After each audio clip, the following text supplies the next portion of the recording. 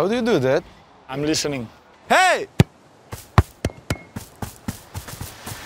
Hey! Whoa! Hey, hey, hey, hey! Hey, hey! Something like that.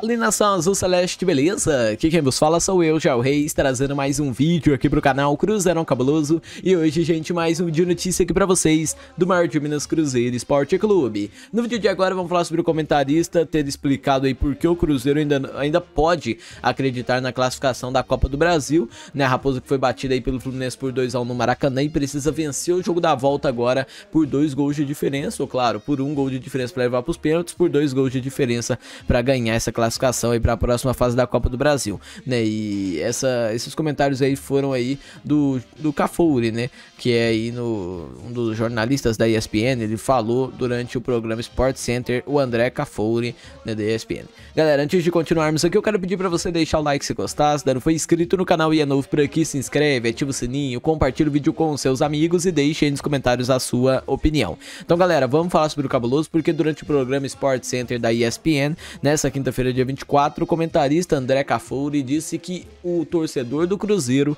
pode acreditar na classificação às quartas de final da Copa do Brasil, desde que o treinador Paulo Pessolano consiga fazer alterações na forma do time se portar em campo. Para o jornalista, o Fluminense foi superior o jogo todo e poderia ter conquistado um placar mais elástico. E ele falou assim, ó, abre aspas. No primeiro tempo, no 11 contra 11, o Fluminense foi muito superior. Placar da metade do jogo 1 a 1.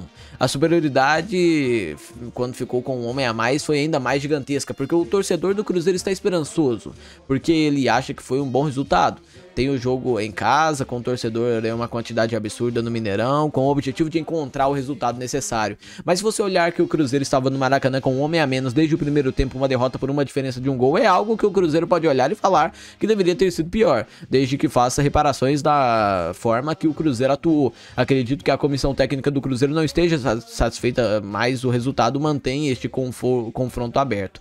Esse foi o que disse o André Cafuri. E galera, é, os gols da vitória do Fluminense por 2 a 1 foram marcados por Manuel e Germacano, e ao passo que Oliveira balançou aí a rede para Raposa. Aos 38 minutos do primeiro tempo, o Cruzeiro ainda ficou sem o lateral direito Giovani, expulso após fazer uma falta dura em Nonato, e o duelo de volta já tem data marcada, será no dia 12 de julho, vai dar numa terça-feira às 21 horas no Mineirão, e para avançar o time celeste precisa ganhar por dois gols ou mais de diferença, e uma vitória por um gol levará a disputa para os pênaltis e o empate da classificação ao Fluminense. O gol fora não é mais critério de desempate na competição, então não tem essa questão aí do Cruzeiro, por exemplo, já ter feito gol e ser é uma vantagem, né? Claro que a gente vai tentar trabalhar aí em busca de uma vitória legal. A gente sabe que o Cruzeiro, né, ele se mantém vivo pelas circunstâncias do jogo. Eu acho que foi um resultado ali plausível, né? Eu até né, já pensava que era plausível antes do jogo acontecer. Eu tava aqui falando para vocês, né, que era o Cruzeiro não tomar uma goleada lá, né, uma, dois ou mais gols de diferença, né, que em casa dá para tentar, né. Eu não tô dizendo que em casa a gente vai chegar e vai se classificar, eu tô dizendo que em casa a gente vai tentar, né, claro, com as nossas condições, com o time que a gente tem, com o investimento que a gente tem, com a torcida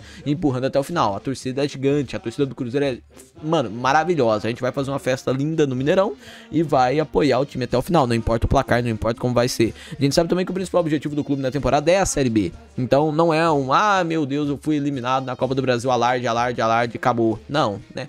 Trabalha normal, né? Vai aí, vai, faz de novo.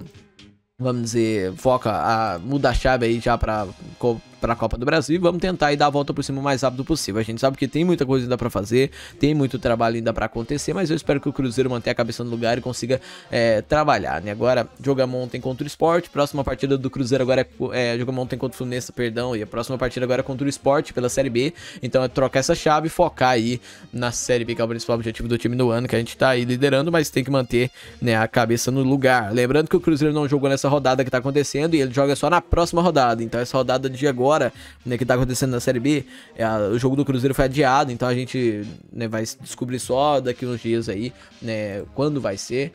Pelo que a gente tem de informação, né, o jogo ele foi até já com data definida, vai ser no dia 5 de julho, beleza, às 19 horas, né, então tipo assim, vai ser na semana que vem o jogo, sem ser na semana que vem, na outra, né, é, o Cruzeiro que joga aí agora, né, contra o Sport, né, dia 28, que vai dar na terça-feira, E depois o Cruzeiro volta a campo no Mineirão de novo contra o Vila Nova, né? Jogo aí que vai ser Mineirão a sexta-feira, dia 1 e depois a gente vai pegar o Ituano dia 5, né? Que aí nessa semana toda, né? O Cruzeiro joga na terça-feira que vem, depois na sexta-feira e depois na outra terça, beleza? Então, galera, esse é o vídeo de agora. Obrigado a todos que assistiram até aqui. Deixe nos comentários sua opinião sobre essa classificação na Copa do Brasil. Se você acha que ainda dá pra sonhar, se você acha que acabou. Eu tô, mano, mano, acreditando mais que nunca. Eu acho que é, mano, simplesmente tranquilo, não é uma questão impossível, ainda mais com a festa da torcida no Mineirão, a gente tem que fazer a presença aí e ser o 12 jogador. Obrigado que assistiu até aqui, se gostou deixa o like aí embaixo, se ainda não foi inscrito no canal e é novo por aqui, se inscreve, ativa o sininho, compartilha o vídeo com seus amigos e deixe aí nos comentários a sua opinião. Obrigado a todos, valeu, até a próxima, fui, tchau, tchau.